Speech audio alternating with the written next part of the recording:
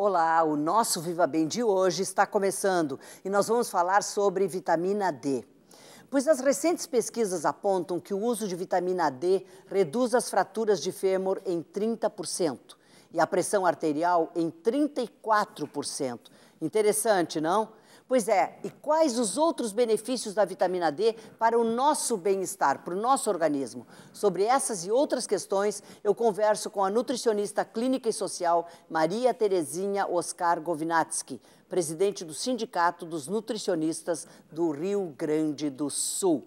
Maria Terezinha, um prazer te ter no programa Viva Bem para a gente falar de um assunto que está na pauta. Vitamina D é a garota do momento, é ou não é? É a bola da vez. É a bola da vez, né? bola da vez. Exatamente. É um prazer estar contigo, Isabel, e falar sobre esse assunto que como bola da vez todo mundo quer estar. Para cima, para baixo, para o lado ou para frente. Não, e a gente logo pensa numa coisa é, fundamental de preocupação, que é os idosos é, caindo por N razões, não são por razões sempre iguais, né, de um para outro, mas é, fraturando o fêmur.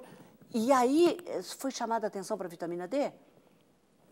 Sim, é um dos fatores, mas que seria a falta do cálcio uhum. por falta da vitamina, da vitamina D, D, né, que ela atua dando condições de absorção do cálcio ah, né, okay. no intestino. A vitamina D ela realmente, assim, ela, o vitamina D deveria ser o hormônio D. Ah, é, okay. Porque ela é, é homens mulheres. para homens e mulheres, tem uma função regulatória sobre o sistema imune, imunológico, sobre o cérebro, uhum. sobre o equilíbrio cálcio, fósforo. E nós já temos uma porção natural de vitamina D.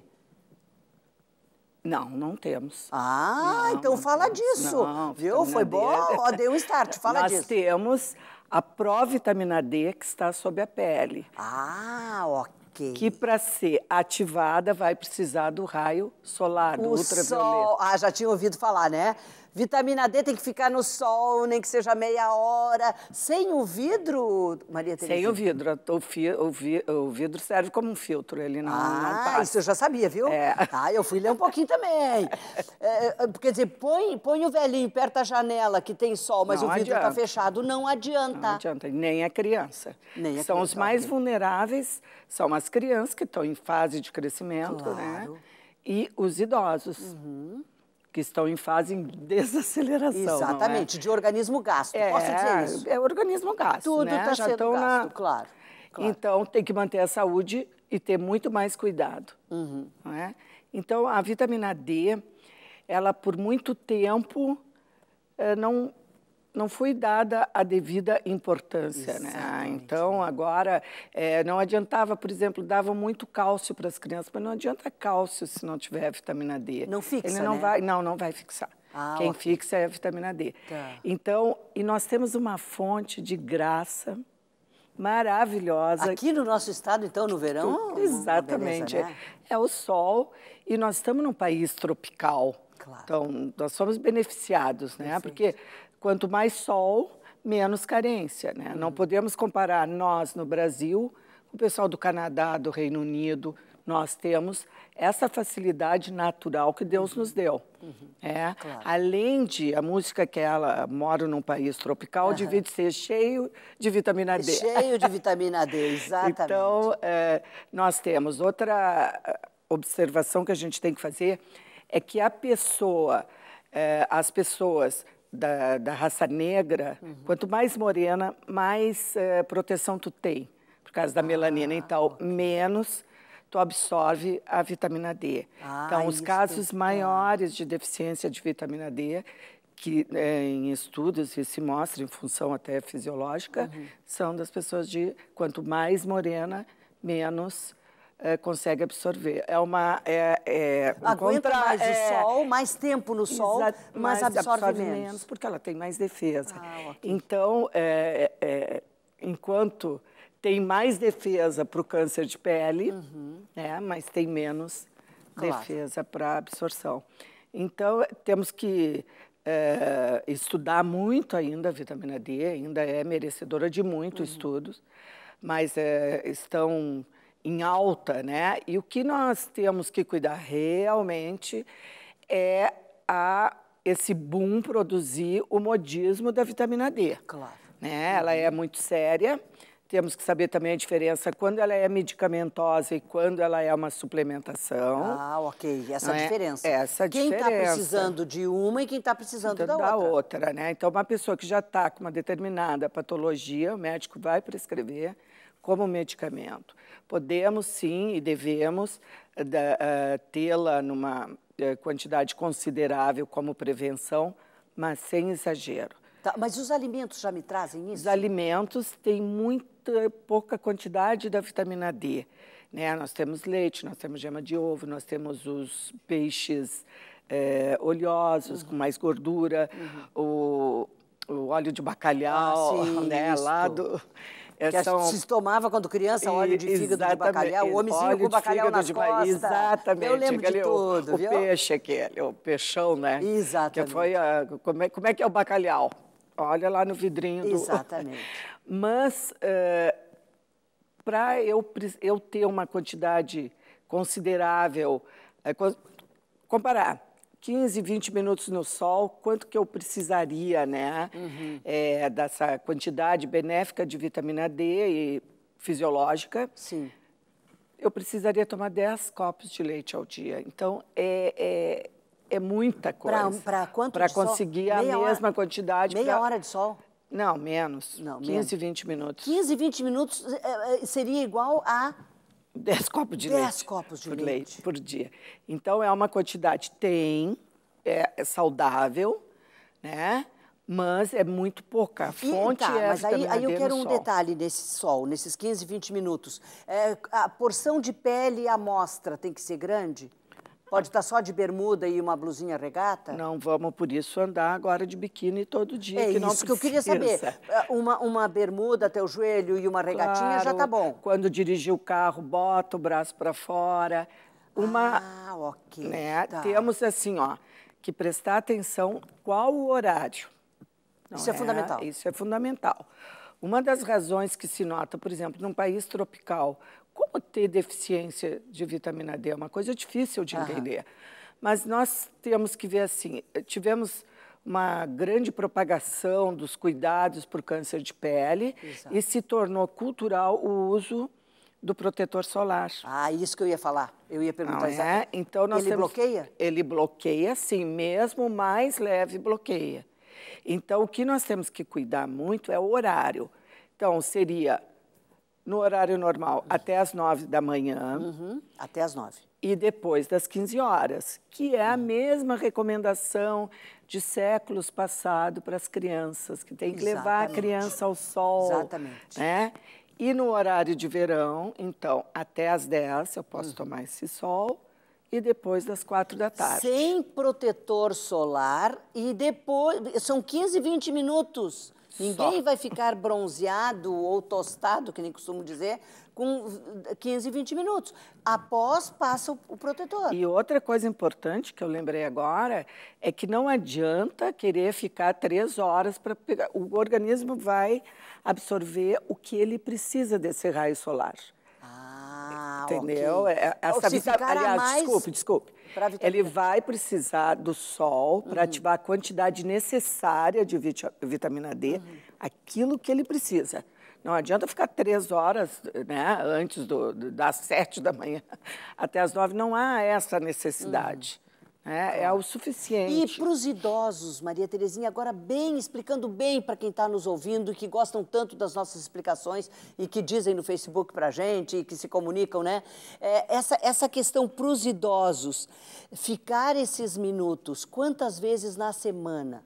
15 a 20 minutos. Eu, os idosos que eu atendo, eu recomendo todos os dias. Todos os dias que tiver sol. Todos os dias que tiver sol. Mas é pelo menos dois dias na semana. Ah, ok. Isso pelo que eu gostei. Menos pelo dois menos dois dias, na, na semana, semana, 15 a 20 minutos. O ideal Porque, é todos os é, dias. O pessoal está né? muito acostumado em ginástica, em academia, tem que fazer duas vezes por semana, três vezes por semana. E fechados. É, é, exatamente. Então, agora, para o sol, é no mínimo dois dias, mas o bom é todos os dias. Todos os dias. E se a gente sai para caminhar sem manga e com, Também, com, é e, ótimo. e, com a bermudinha, está feito. É ótimo. Então a vovó está bem. Está bem. Então... Quanto mais sol, quanto mais partes okay. né, ela conseguir colocar a amostra. Claro, melhor. É, sem exagero. Claro. E também sempre ver assim, a vitamina D, ela é uma vitamina lipossolúvel, ela precisa, junto para funcionar, do uso de gordura. Ah, né? Lipossolúvel é solúvel em gordura. Tá. Então, ela precisa também, mas nem por isso nós temos que usar uma quantidade absurda de. Exatamente. Tem que ser o suficiente. Claro. Né? Sem o normal, uhum. porque tudo que é demais faz mal. Uhum. Claro. Né? Só o que não faz mal demais é amor, né? Exatamente, Esse... que é o que nós temos é. para vocês. Por isso que a gente está aqui no programa. Ela teve que fechar a agenda dela para estar tá aqui com a gente. Presente para nós todos. Já voltamos, que nós vamos num pequeno intervalo.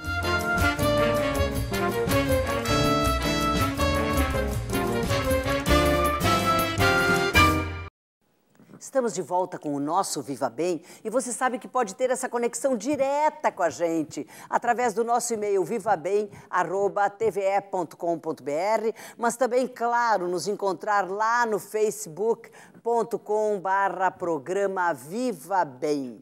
E nós continuamos aqui o nosso assunto sobre vitamina D com a nutricionista clínica e social Maria Terezinha Oscar Govinatsky, presidente do Sindicato dos Nutricionistas do Rio Grande do Sul. É um prazer ter a Maria Terezinha aqui, trazendo tantos esclarecimentos para nós nesta hora que todo mundo fala e às vezes fica confuso. Né? Qual é a quantidade, quando é que eu preciso? Tem gente já querendo tomar vitamina D à revelia de qualquer indicação, também não é bom, né, Maria Terezinha? Também não, não pode. Não pode, isso não pode. Não deve e não pode. Ok, perfeito. É, realmente tem que haver a prescrição, tem que ser denotada a carência. E isto é através de exames? Isso é através de exames.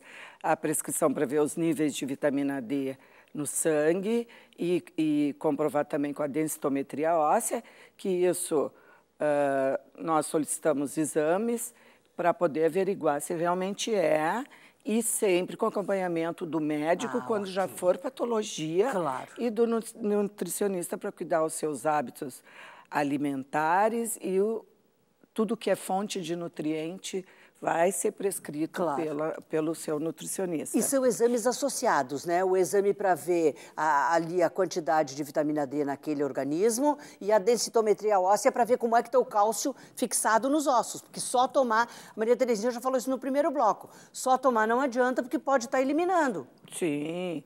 Não, o, o seguinte, porque vai tomar vitamina D e não combinar com o cálcio, tem que, ter o, tem que ter o cálcio suficiente. Por ah, quê? Claro. Dentro do metabolismo e de toda a regulação do sistema ósseo, é, há uma reposição e uma tiragem. Reposição. Ah, entendi. Então não pode só. Eu estou precisando, meus níveis estão baixos, eu vou retirar do osso, que é um depósito de cálcio. Uhum. Vou retirar do osso, vou mandar para todas as funções que o cálcio tem no organismo. Aí e ele não é reposto. Aí dá osteoporose. Aí dá osteoporose. Osteoporose. Bom, falei num nome que tudo que é pessoa de 60 já sabe. Né? É. 60 ou mais já sabe o que é a osteoporose. Aquele também que a gente não quer ter. Aquele vazamento que todo mundo já viu também, a foto, da, né? o raio-x é. daqueles ossos todos vazados. Que, fica, que vai virando uma renda, né? E é por Os isso quebra virando, com facilidade. Quebra com facilidade. Primeiro, primeiro vem uma osteopenia e depois vem a osteoporose. Então, é isso que realmente, assim, a, a não vou dizer que é a principal, mas a grande função da vitamina D, uhum. uma das grandes, é regular a parte óssea. Ah, ok. É, ela regula. Que é a nossa sustentação. Que é a nossa sustentação. É, o leite é a maior fonte de cálcio ah, okay. que se Falar conhece. Uhum. É, não, não existe outra comparável. Ah, mas os vegetais verdes escuros. Tem, mas a biodisponibilidade não é a mesma. Biodisponibilidade é aquela quantidade que vai ser absorvida para o organismo. Ah, entendi. Tá. É, então o não vai ser mais. a mesma. O leite tem mais. E quanto de leite por dia uma pessoa de mais de 60, 70? Mais de 60, 70.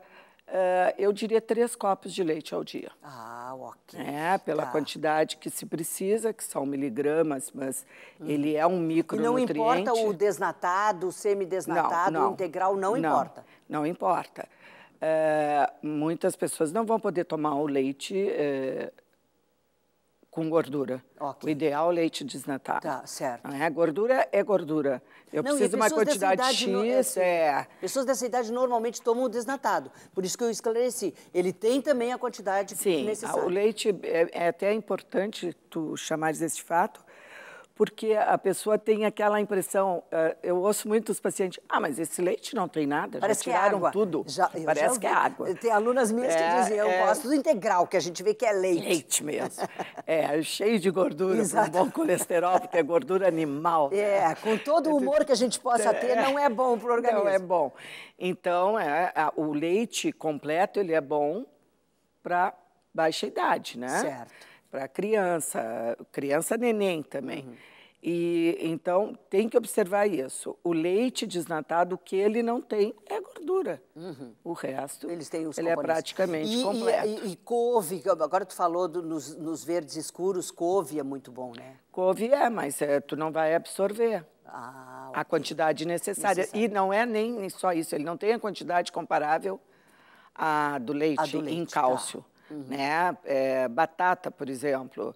Tem que comer 10 quilos de batata para conseguir o que eu consigo com um copo de leite. Então, é, o leite é a maior fonte, sim, de cálcio e os laticínios, mas o leite uhum. por si só é a maior fonte.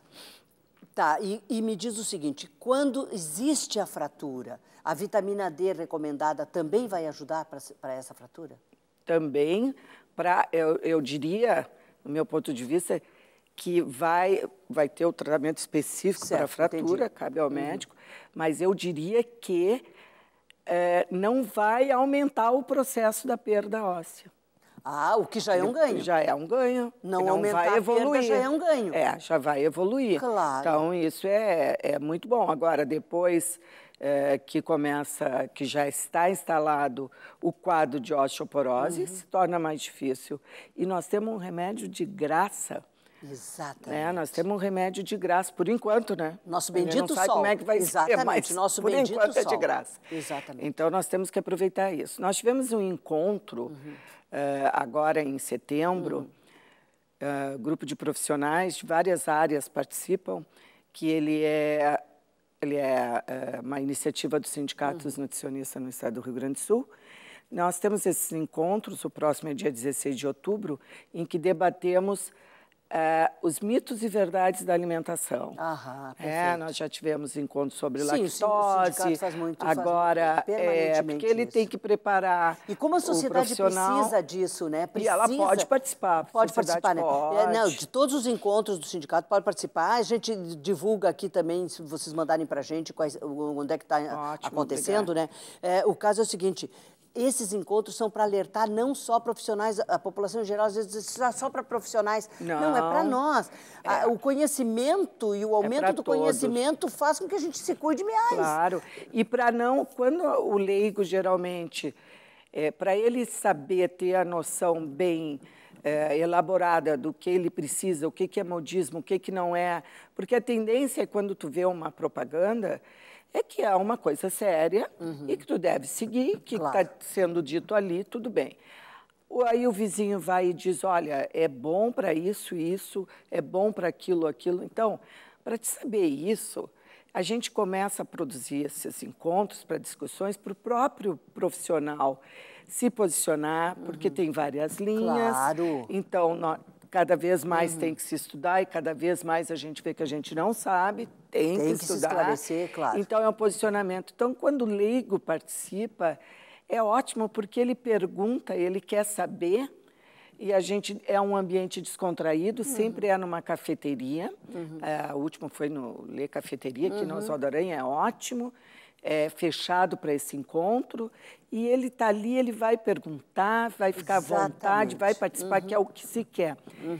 É, outra coisa que se discutiu muito, o papel da vitamina D nas degenerativas né, do ah, sistema nervoso, principalmente da esclerose múltipla, está sendo muito uhum. usada. E associada com outras vitaminas? Com Não, é, a, a específico a vitamina, a vitamina D. D. Okay. É claro que tu vai no dia a dia, na alimentação, uhum. tem que ter todos, todos os componentes, claro, né? Claro, com certeza. Mas a, isso também, o câncer de mama, o câncer de próstata. E câncer de mama, a, a Porto Alegre é a capital campeã no Brasil? Exatamente. Tem que se fazer então, alguma tem coisa? Tem que ter também esse cuidado. Já existe, isso, isso tudo está sob estudo. No uhum. último congresso internacional em foi na Espanha, saíram várias recomendações, foi toda a sociedade científica mundial discutir, uhum. e sempre é solicitado que se tenha cuidado, é uma coisa que está sendo ainda estudada, uhum. mas que já, é, já tem benefícios comprovados. Interessante nesse último encontro pelo Facebook do, do Sinurgues, e até no meu pessoal, uhum. é, foi muita gente com esclerose múltipla. Ah, okay. é, procurando hum. e querendo saber os resultados. Claro. E que o pessoal de todo o país foi muito bom muito ver isso. Muito gratificante para o sindicato, né? Muito que faz um trabalho permanente, né? Exatamente. Porque vocês então, não têm sossego, né? Não, não tem não sossego, tem sossego. porque sempre tem uma moda, sempre né? tem, claro. É, não, e, e, coisas a se estudarem. A gente sabe que a medicina em seis meses, toda a área médica, em seis meses, para que a gente tenha um organismo mais tempo aqui, neste, neste terreno, e, e com mais saúde, porque só estar tá vivo também não interessa muito, né? A gente quer estar tá vivo e bem. E bem. Só ao vivo não importa, né? Exatamente. É viver. É viver, viver para contribuir, para trocar com as pessoas. E isso é fundamental, né? É. É, esses estudos é que mostraram a necessidade também desse item nos exames gerais, porque eu me reporto uns anos atrás, é, eu, que há muitos anos eu faço esse controle anual de todos os exames, aquela bateria, né? O check-up que a gente fala, né? Na realidade, é, não pediam, muitos não pediam essa taxa não, de vitamina D. Agora já se incluiu. Já houve um alerta bom nesse sentido, muito, ah, que okay. foi evoluindo. Eu ainda, quando eh, solicito os pacientes para os exames, eu solicito vitamina D e quando ele vem do seu médico, ele já está sendo tratado por uma patologia, eu olho, se não tiver o exame, uhum. eu peço para ele solicitar, mas hoje em dia está tendo um cuidado enorme na solicitação desse exame. Claro. E sempre, eu acho, por também acompanhar a densitometria óssea depois de uma certa idade. Claro. É preventivo também. É Exatamente. preventivo também. Bom, mas o que é preventivo, a gente terminou o programa agora, senão atrasa a programação. Nós temos que terminar o programa. Claro que gostaram, podem pedir que a Maria Terezinha volta ao programa Viva Bem. Maria Terezinha, me dá tua mão esquerda, porque assim eu termino sempre todos os programas, porque de mãos dadas é que a gente faz um mundo melhor. É Muito obrigada pela essa bela explanação. Muitos conhecimentos ganhamos aqui e um abraço pessoal do sindicato, que está sempre alerta. Obrigada, Para o bem Isabel. de todos nós. Um pra abraço todos a todos nós. Para todos vocês. Um abraço a vocês que estão em casa sempre nos assistindo. Vão lá no Facebook, vão no e-mail, nos mandem, que a gente adora ouvir as críticas de vocês, os elogios, as solicitações. A gente vai atendendo. E viva bem, porque a gente merece, né?